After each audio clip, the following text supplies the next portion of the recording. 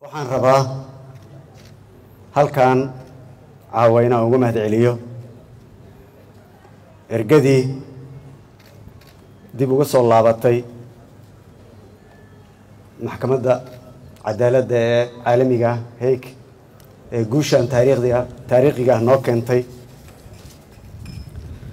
Ergadaasoo ka koobneed uunu hogaaminayay ra'iisul wasaare ku-xigeenka mahdi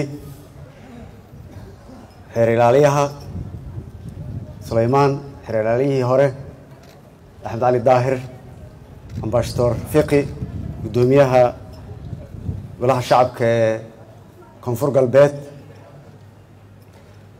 injineer saalixi wiilkiisa yuusuf garaad mune sharmaan iyo intaan cawada halkan nala joogin ugu horeeyo marxuumka walaalkay injineer maxamed saalixi allaha naxariistii janno siiyo. Waxaan rabaa sidoo kale inaan halkan uga mahad celiyo dhammaan dowladihii kala duwanaa oo aad sheegteen ee ugu horeysa tii cabdulaahi yuusuf madaxweyne cabdulaahi yuusuf ay ku xigtay dowladdii madaxweyne sheekh shariif wasiiradiisa ay ku xigtay dowladdii madaxweyne xasan sheikh iyo wasiiradiisa uguna dambeysay dowladdan madaxweyne maxamed cabdulaahi farmaajo iyo wasiiradiisa fursadna u helay inay guusha ugu dambeysay ay soo hoyaan. Runtii waa farxad aan la koobi karin.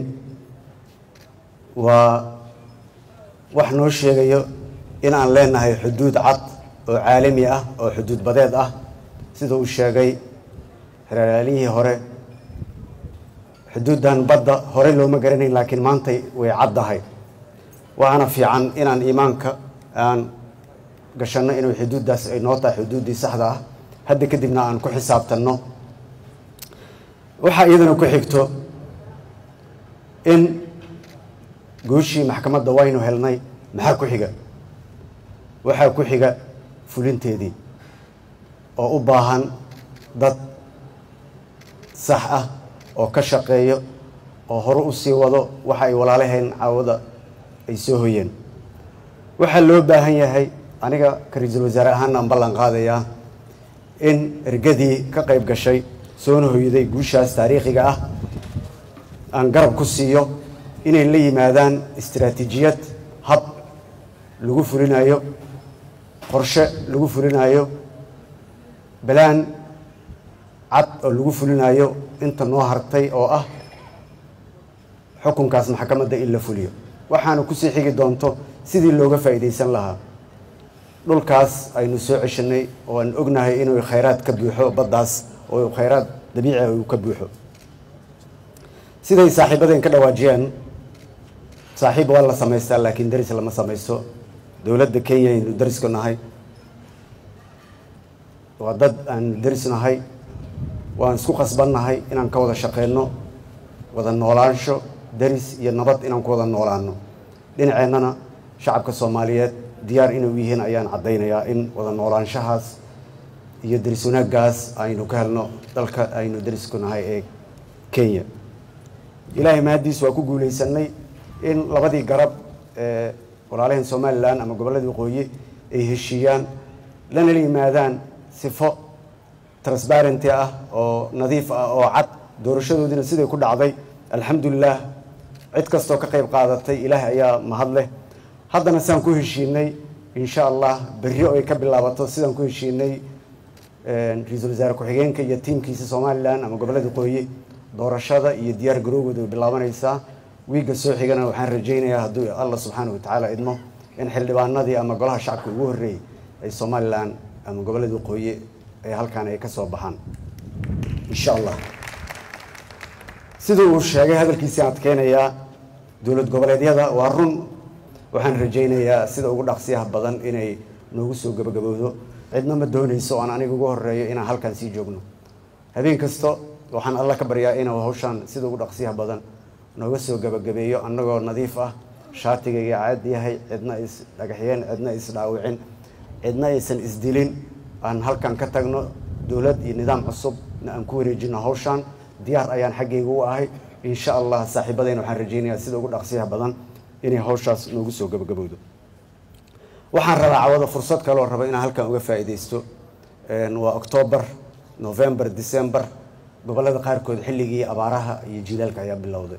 Saad la socotaan jubbaland xaalad adag oo adag ayaa ka jirta oo abaar ah oo biyo la'aan ah. Hadday ku sii darsoonto oo roob ama aysan helin gargaar deg deg ah january iyo february iyo march april a ugu soo horreeya marka abaar dheer ayaa qabsan doonta hadduusan ilaahay albaabaha nimcadiisa uusan noo furin.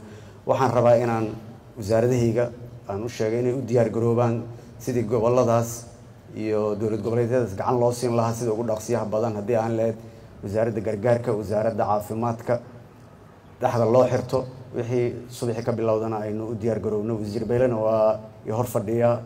Wax sagxad dhahayo ma jirto mushaaraadka waa haysanaa ilaa abriil. Sanadka soo socda insha allah mushaaraadkeena meel u yaallaa haddii aan lahayd mushaaraadka ciidamada haddii aan lahayd shaqaalaha rayidka intaasoo dhan waa haysanaa wixii zaa'id ayaan noo dhiman laakiin insha allah waa inaan dhexda u xiranaan dhexda u xiranaa oo aan saacidnaa walaalaheen ay abaaruhu saameeyeen sida ugu dhaqsiyaha badan.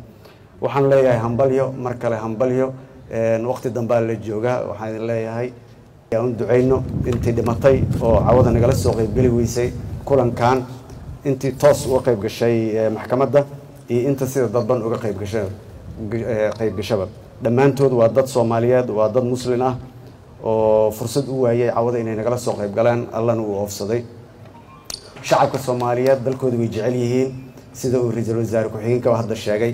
Meel kastoo ay joogaan dalkooda ayay ka naxaan u gurmadaan.